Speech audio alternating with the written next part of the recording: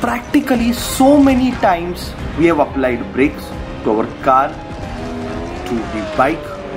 We have seen many movie scenes as you can see on the screen. So basically the most powerful brakes. Yes i'm talking about the most powerful brake most efficient brakes okay which we can build in our car is the hydraulic brakes. And today we are going to discuss the concept the application of Pascal law that is hydraulic brakes.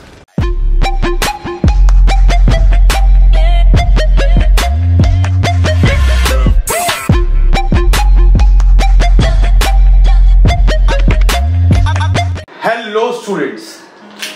So this is something, the application of Pascal law, life-saving application, very very important. Hydraulic brakes.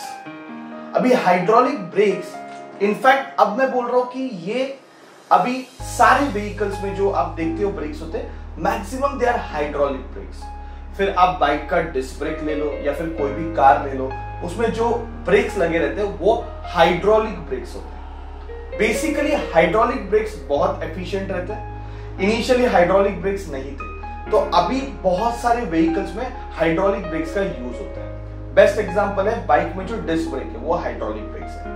तो उसका mechanism बहुत simple है, जो हमने hydraulic lift में पढ़ा, वही है, कुछ अलग नहीं है। ठीक है?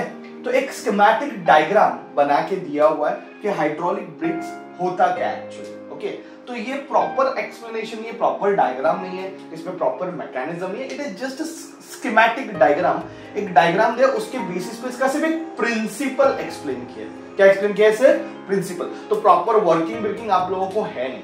ओके एकदम प्रिंसिपल एक्सप्लेन किया हुआ है। तो वही देखेंगे, बहुत इजी इतना डिफ़िकल्ट नहीं है। ठीक है? तो डायग्राम देख के थोड़ा सा लगता है क्या दिया हुआ है बट एक्चुअल में बहुत सिंपल है। तो ये जो है, वो आप देख सकते हो। यहाँ पे ये चारों टायर पे एक रोटर लगा रहता है। कभी आपने अगर व्हीकल को देखा रहेगा तो उसमें एक रोटर रहता है, एक डिस्क रहता है। ठीक है? तो वो डिस्क के यहाँ पे ये मैकेनिज्म है। ओके और इसको पिस्टन के हेल्प से एक्सप्लेन किया हुआ है। हियर इज़ वन पिस्टन और ये सारे क्या है? पिस्टन है। आप देख रहे हो। ओके ये ब्रेक पेडल है। जहाँ से हम ब्रेक अप्लाई करेंगे फोर व्हीलर में आपको पता रहता है कि ब्रेक पेडल में अपन ब्रेक अप्लाई करते हैं। ये मास्टर सिलेंडर है। ये जो रेड वाला दिख रहा है, वो ब्रेक ऑयल है ब्रेक फ्लूड है, जो सब जगह पे स्प्रेड हुआ है। और इसको पास होने के लिए जो लाइंस यूज़ हुए वो हाइड्रोलिक लाइंस है या फिर हाइड्रोलिक ट्यूब्स है, कुछ भी बोल सकते हो। तो बेसिकली ये एक स्कीमेटिक डायग्राम है जो एक्सप्लेन कर रहा है कि कैसे ये काम करता है। एकदम सिंपल इसमें वर्किंग प्रिंसिपल क्या है। तो ब्रेक पेडल सोचो ब्रेक पेडल से आप ब्रेक अप्लाई कर रहे हो। बेसिकली ब्रेक पेडल के बाद भी बहुत सारे मैकेनिज्म है। मैं आगे आने वाले एनिमेशन में आपको बताऊँगा थोड़ा बहुत नॉट इन डिटेल इसकी ज़रूरत नहीं है। बट ब्रेक पैडल से सपोज़ ये एक मास्टर सिलेंडर है उस मास्टर सिलेंडर का ये जो पिस्टन है वो पुश हो जाएगा। मतलब आप समझ लो कि यहाँ पे एक फोर्स लगने वाला है एफ़ वन ओके और इसका एरिया जो है आ, आप देख सकते हो ये जो एरिया है वो है ए वन यहाँ पे यहाँ पे जो एरिया दिख रहा है ना ये एरिया है ए वन ओके तो मास्टर सिलेंडर का एरिया है ए वन और मास्टर सिलेंडर पे हमने एक फोर्स लगाया। जैसे हम ब्रेक पैडल से ब्रेक दबाते हैं तो वहाँ पे पुश ट्यूब रहता है, फिर स्लैब रहता है वैक्यूम क्रिएट करने के लिए तो वो फोर्स क्रिएट होता है। मास्टर सिलेंडर क्या करता है? ये जो फोर्स ब्रेक पेडल से फोर्स लग रहा है, ये मैकेनिकल फोर्स है। कौन सा फोर्स है? मैकेनिकल फोर्स है। ब्रेक पेडल से जो फोर्स लगता है, वो मैकेनिकल फोर्स है। उस मैकेनिकल फोर्स को मास्टर सिलेंडर हाइड्रोलिक फोर्स में क्रिएट करेगा मतलब यहाँ पे प्रेशर बनेगा। तो एक प्रेशर बनेगा। Pressure at master cylinder.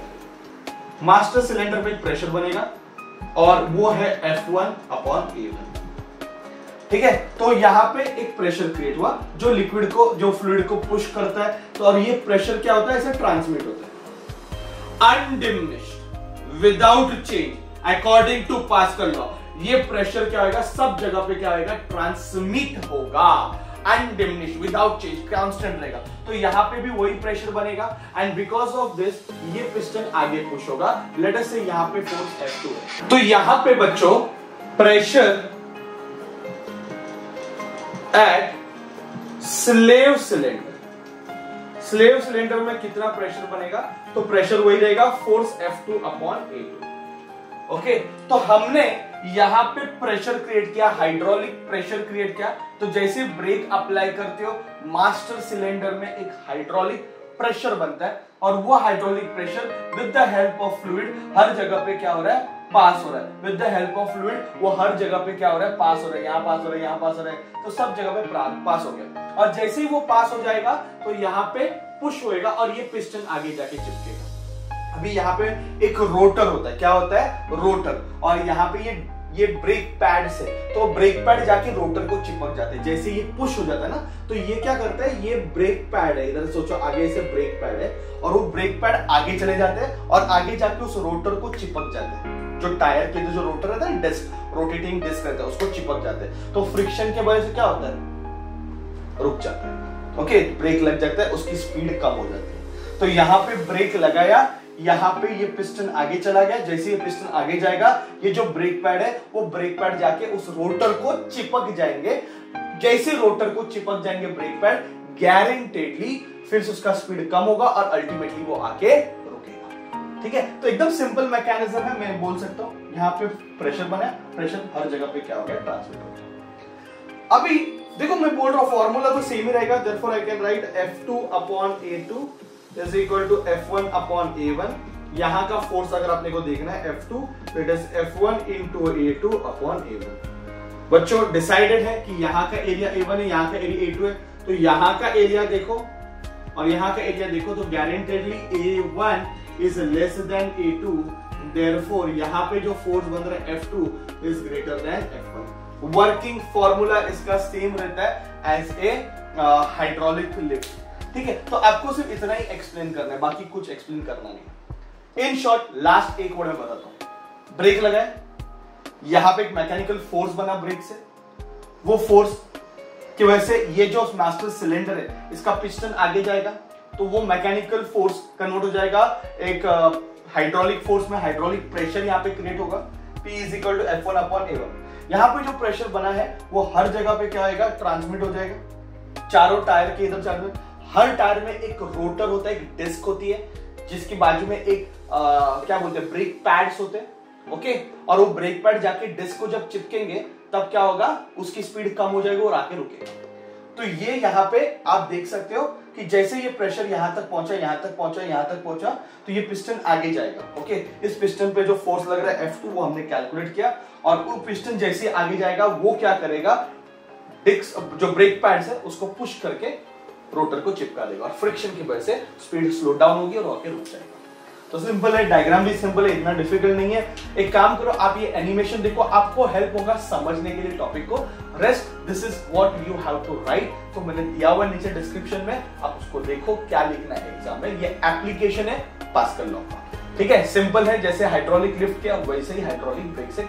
Mechanism same है। प्रेशर हमेशा क्या रहता है कॉन्स्टेंट जो प्रेशर बनता है, सब जगह पे क्या होता है? वही प्रेशर क्या होता है? ट्रांसमिट होता है। प्रेशर कभी चेंज होता नहीं है। इसी कॉन्सेप्ट पे वो बेस्ड है। और फोर्स कहाँ पे लगा है? छोटे एरिया पे।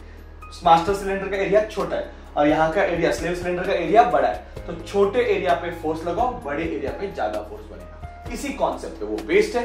एक काम करो, थोड़ा डिटेल में ये एनिमेशन आप देख लो and you will understand it better कि how hydraulic brakes work but remember इतना डिटेल में ज़रूरी नहीं है फॉर योर बोर्ड एग्ज़ाम ठीक है बच्चों? Here is the animation. Let's take a look on a typical hydraulic braking system. क्या होता है ब्रेकिंग से कंपोनेंट्स कौन से यूज़ करते हैं? सबसे पहले तो ब्रेक पेडल रहेगा, जहाँ से हम ब्रेक अप्लाई करेंगे. Then there is a push rod then there is a servo where vacuum is created and there is a master cylinder.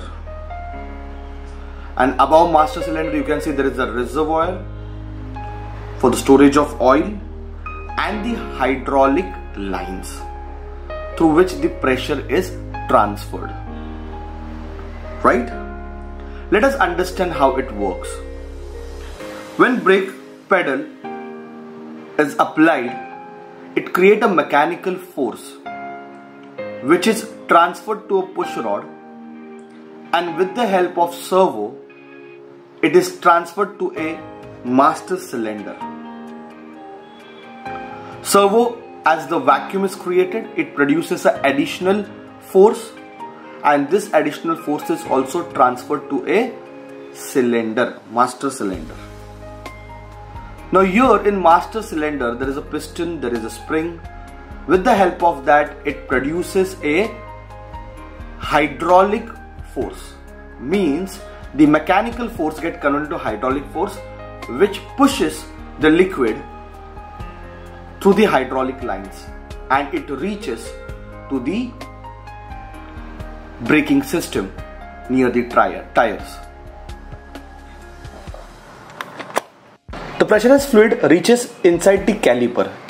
Okay okay? और जैसी कैलिपर के पास पहुँचता है देखते क्या होता है ओके okay? तो ये जो व्हील है, हम थोड़ा क्लोजली इसको ऑब्ज़र्व करेंगे कि व्हील के इधर जो कैप कैलीपर लगा रोटर के पास, उसमें जब ये प्रेशराइज फ्लूड पहुँचता है see it is passing to small area because of which बहुत ज़्यादा हाइड्रोलिक फोर्स क्रिएट होता है और वो जाके रोटर को टच करता है। और जैसे ही रोटर को टच करता है बिकॉज़ ऑफ़ फ्रिक्शन उसकी स्पीड कम हो जाती है और वो रुक जाता है। That's it that's the working thank you very much